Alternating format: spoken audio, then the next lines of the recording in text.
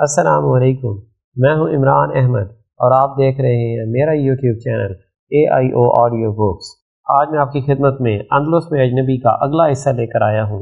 तो चलिए शुरू करते हैं। थोड़ी देर बाद वेटरस का उधर से गुजर हुआ तो उसने ऑर्डर पूछने का तरद किए बगैर ट्रे में रखी दर्जन भर प्लेटों में से एक इन ऐठे हुए साहब के आगे दे मारी। लेकिन देखिए, मैंने कहा, मिस, उन्होंने घबराहट में वेटरस को पुकारा, मगर वो वापस जा चुकी थी। चुनाचे मुझसे मुखातिब हुए, मगर मैंने तो ये डिश नहीं मंगाई। वेटरस का अखलाकी फ़र्ज़ था कि वो खाना लगाने से कबल मुझे मेन्यू दिखाती। इस रेस्तोरान में मेन्यू वगैरह नहीं होता। सिर्फ़ एक ही डिश मिलती है गर्म सार्डीन मछली। मैंने उनकी तरफ़ मुतवजे हुए बगैर उकता कर कहा यह साहब सान सबस्तियान की एक खूबसूरत शाम का सत्यानाश करने पर तुले हुए थे। यम यम यम, साहब ने मछली मुँह में डालते ही चटखारे लेने शुरू कर दिए और फिर यकदम सीने पर हाथ रखकर खड़े हो गए। आपसे मुआफी का खासगार हूँ। मैंने बिला वजह आप पर शक किया। ऐसी मज़ेदार मछली तो हाउस ऑफ़ लॉर्ड्स में भी नहीं मिलती। हाउस ऑफ़ लॉर्ड्स मैंने हैरान होकर पूछा, मुझे पहले ही शक था कि ये साहब कोई बिगड़े हुए लॉर्ड किस्म की चीज़ है। हाँ हाउस ऑफ़ लॉर्ड्स उन्होंने डबल रोटी के टुकड़े से मछली का मसाला पोचते हुए कहा, मैं वहाँ पिछले दस बरस से वेटर की हैसियत में मुलाजिम हूँ। तो वो लॉर्ड के बजाय लॉर्ड्स के वेटर थे। तभी खाने के और सर्विस के बारे में इतनी छान फटक हो रही थी। मछली खत्म करने के बाद साहब ने एक बोतल सुर्ख शराब की चढ़ाई और बाकायदा बैग गए। मैंने तो हाउस ऑफ़ लॉर्ड्स के खुनक कमरों में उंगते हुए खूसट बूढ़ों को चार बजे की चाय पिलाते पिलाते ज़िंदगी बर्बाद की है। ज़िंदगी तो इसे कहते हैं उन्होंने मेज पर बैठे हुए बेफिक्रे अस्पानियों की तरफ़ इशारा करते हुए कहा, गरम सार्डीन मछली, सुर्ख शराब, समुंदर की खुशगवार हवा और मेरा तो जी चाह रहा है कि हाउस ऑफ़ लॉर्ड्स की बैरागिरी छोड़कर यहाँ एक कश्ती खरीद लूँ और सार्डीन मछलियाँ पकड़ा करूँ। नेक ख्याल है, मैंने उकता कर कहा। मैं आप सोच रहा था कि इन साहब से किस तरह पीछा छुड़ाकर हॉस्टल की राह लूँ। माफ़ कीजिएगा, वो लड़खड़ा कर उठे, अपनी टाई उतार कर जेब में रखी और कोट उतार कर मेज पर रख दिया। मेज पर पड़े हुए हैट को उठाकर उन्होंने करीब से गुजरती हुई वेटरस के सर पर जमा दिया। वेटरस ने आँखें मटकाई और हैट उतार कर उनकी खाली बोतल पर टिका दिया। एक और फ्लैश हुआ, बुल फाइट वाली मोहतरमा, वो वो मेज से उठकर अपने अस्पानवी दोस्तों के साथ बाहर जा रही थी। खुदा हाफिज, बोल, उसने जाते जाते कहा, शायद इस मोहतरमा से आपकी दुआ सलाम है। साहब ने मुझे टवका दिया। हाँ बुल फाइट में मुलाकात हुई थी। बुल फाइट न्याय जालिमाना खेल है। उन्होंने मुँह बना लिया। मैं भी आज दोपहर देखने की नीयत से गया था। मालूम हुआ सिर्फ़ तीन सौ पसीते वाला टिकट मिल सकता है। सिर्फ़ तीन सौ पसीते में टिकट मिल सकता है एक। बुल फाइट में छह बुल यानी पूरे पचास पसीते का एक बुल पड़ा। महँगा सौदा था। क्यों जनाब? पचास पसीते में एक शरीफ बुल को कत्ल होते देखना कहाँ की अकलमंदी है? इस रकम से सार्डीन मछली की दो प्लेटें आ सकती हैं। सार्डीन मछली। हाँ सार्डीन वेटरस जाने कहाँ मर गई है? मैं एक प्लेट मछली और खाऊँगा, बल्कि सुर्ख शराब। वो बातें किए जा रहा था। हाँ सुर्ख शराब। अस्पानिया की सुर्ख शराब। वेटरस मैं खुद उसे ढूंढ कर लाता हूँ। साहब ने खाली बोतल जिस पर हैट अटका हुआ था, वो उठाई और वेटरस की तलाश में बावर्ची खाने की जानब चल दिए। मैंने ये मौका गनीबन जाना और वहाँ से उठकर साली सड़क पर आ गया। चंद एक गैर मुल्की जोड़ों के अलावा सड़क पर अब बेहद कम लोग रह गए थे। मैं पैदल ही हॉस्टल की जानब रवाना हो गया। अगर ये सब आर्जी है तो भी क्या? सांता क्लारा के जजीरे में टिमटिमाने वाले जुगनू ज़िंदगी के तारीख लम्हों में चमक उठेंगे। इस खूबसूरत शाम की ठंडी हवा लाहौर की तपती दोपहर में भी मेरे रुखसारों से छू कर मुझे ठंडक और सुकून का एहसास दिलाएगी। मैंने अपने अंदर खूबसूरती का जखीरा कर लिया है और ये खूबसूरती मुझे आने वाली कल की दुश्वारियों का सामना करने के काबिल बना देगी। हॉस्टल के करीब पहुंचकर मैंने मुड़कर साहिल की जानब निगाह की। सांत सबस्तियान के आसमान पर चमकने वाले तारे और सांता क्लारा के जुगनू आपस में गले मिल रहे थे। बदबख्त कश्तालिया। सांता क्लारा के जजीरे और इसके गिरदो नवा में फैले हुए वसी समुंदर पर गहरी धुंध छाई हुई थी। गिल्डू और उर्गल पहाड़ियों की चोटियों पर घने और स्याह बादल उतरे हुए थे। साइली सड़क के फुटपाथ पर लगे हुए दरख्तों के पत्तों में से पानी निचड़ रहा था। कोचा बीच बिल्कुल वीरान पड़ी थी। समुद्र का पानी उतर जाने से दूर दूर तक एक दलदल सी बन गई थी। मछेरों की बस्ती भी धुंध की लपेट में आई हुई थी। सांता क्लारा के साहिल पर लंगर अंदाज कश्तियाँ समुन्दर में तलातुम के बायस बुरी तरह डोल रही थी। आज सुबह जब मैं पंपलोना जाने की घर से यूथ हॉस्टल से बाहर निकला तो पिछली शब का नीला आसमान घने बादलों से ढका हुआ था और हल्की हल्की फौर पड़ रही थी। साइली सड़क तक पहुँचते ही तेज बारिश शुरू हो गई और मुझे एक होटल के बरामदे में पनाह लेनी पड़ी। मुझे इन अंग्रेज़ बूढ़ियों का ख्याल आ गया जिनकी मदद से हमने कल सुबह करेंसी तब्दील करवाई थी।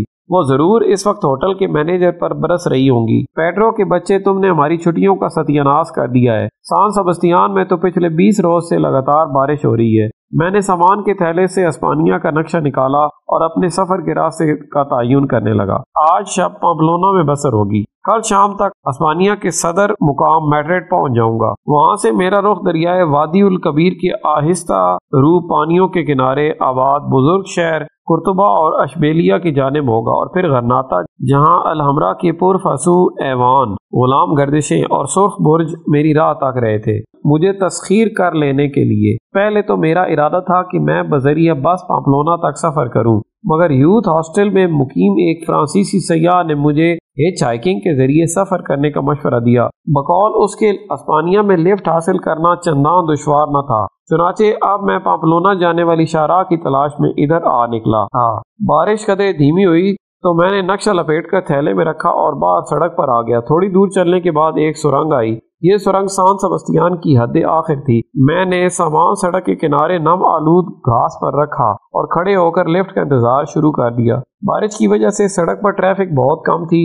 एक दो कारें रुकी, मगर उनकी मंजिल हस्पानिया की बंदरगाह बलबाओ थी, जो पाम्पलोना से बिल्कुल मुखालिफ सिमत में था। बिल्कुल मुखालिफ सिमत में वाक़ है। मुझे वहाँ खड़े तकरीबन दो घंटे गुजर गए, मगर कोई लिफ्ट न मिली। बारिश का पानी दरख्तों के पत्तों में सिरे से इसकर मेरी बरसाती के कॉलर के अंदर तक जा रहा था। मैं दिली दिल में उस फ्रांसीसी सयाह को कोस रहा था। अगर मैं उसके मशवरे पर अमल ना करता तो इस वक्त यहाँ भीगने के बजाय पापलोना के किसी आरामदेह कहवा खाने में बैठा गरम गरम काफ़ी पी रहा होता। खासी देर बाद सुरंग में से एक जीप निकली। मैंने अंगूठे को खम देकर हाथ आगे कर दिया। जीप पहले तो तेज़ी से मेरे पास से गुजर गई, मगर जाने ड्राइवर को क्या ख्याल आया, उसने एकदम ब्रेक लगाई और मुझसे काफ़ी फासले पर जाकर रोक गया। मैंने जल्दी से सामान का थैला कांधे पर डाला और भागता हुआ जीप के पास पहुँच गया। मडगाट पर बरतानवी यूनियन जैक लहरा रहा था और ड्राइवर के नशिस्त पर एक अजीबुल खलकत किस्म की शैब विराजमान थी। उसके भूरे बाल कंधों तक आए हुए थे और घनी दाढ़ी छाती पर उगे हुए बालों से उलझ रही थी। घुटनों तक आई हुई एक ब्राउन नेकर के अलावा उन साहब के जिस्म पर और कोई लिबास न था। उसने वहीं बैठे बैठे सर से पाँव तक मेरा जायजा लिया और फिर उंगलियों से दाढ़ी में कंगी करते हुए कहने लगा, कहाँ जाओगे?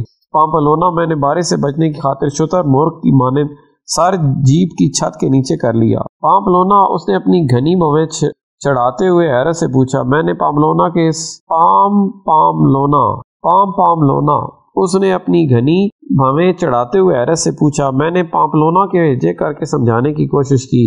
एक मिनट, मैं नक्शा देख कर तुम्हें बताता हूँ कि ये पाम पाम उसने जेब के पिछले हिस्से से, जेब के पिछले हिस्से में से अस्पानिया का एक बोसीदा नक्शा निकाला और अपने घुटनों पर फैलाकर उस पर आँखें घुमाने लगा। ये सड़क पता नहीं कहाँ जाती है। खासी देर बाद उसने नक्शे पर पड़ी एक भूरी लकीर पर उंगली जमाते हुए हैरत से कहा और फिर उसी लहजा मुँह खोल कर हंसने लगा हाँ हाँ सड़क नहीं, ये तो मेरी दाढ़ी का एक बाल है। हो हो छोटा सा लतीफा हो गया। और ये जो बड़ा लतीफा बाहर खड़ा बारिश में भीग रहा है, उसके बारे में क्या ख्याल है? मैंने तुनक कर कहा, ओ, सॉरी, बाहर तो बारिश हो रही है भाई, जीप में बैठ जाओ, बाहर क्यों खड़े हो? मैं तुम्हें पाम पाम लोना में उतार दूँगा। बहुत खूब। मैंने खुश होकर कहा और जीप के अंदर घुसने लगा। एक मिनट उसने हाथ आगे कर दिया। चरस तो नहीं पीते, नहीं मैंने सर झटक कर बेसब्री से कहा, मेरी कमर पर छाजो मी बरस रहा था। फिर ठीक है, उसने हाथ नीचे कर लिया, अपना सामान पिछले हिस्से में रख दो और मेरे बराबर में बैठ जाओ। जीप के पिछले हिस्से पर लंडे बाज़ार की किसी दुकान का गुमान होता था। लकड़ी के शतीर, खेती बाड़ी के औज़ार, पेट्रोल के